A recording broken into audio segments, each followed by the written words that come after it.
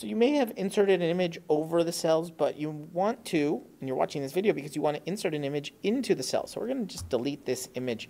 And here in A1, we're going to select it.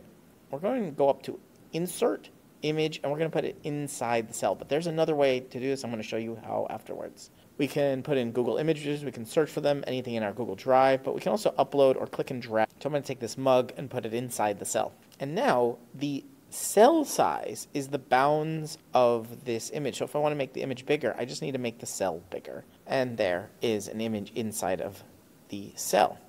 And there's nothing else inside here, but if I delete that cell, there it goes. I delete the image. There's one other way to do this.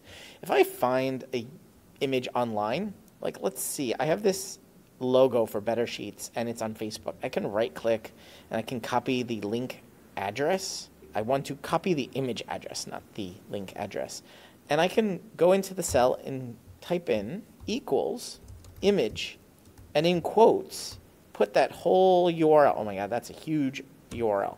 There, actually, I clicked on the image and over here on the right, click right click and copy image address. That's going to be a better URL, but still image and put that URL in there. It will ask me to allow access. I will allow access and there is the image anywhere online that there's a URL to that image. You're watching Better Sheets here on YouTube. Make sure you check out this video or this video and subscribe right now to get more tips, tricks, how-tos, get more out of your Google Sheets than you ever have before.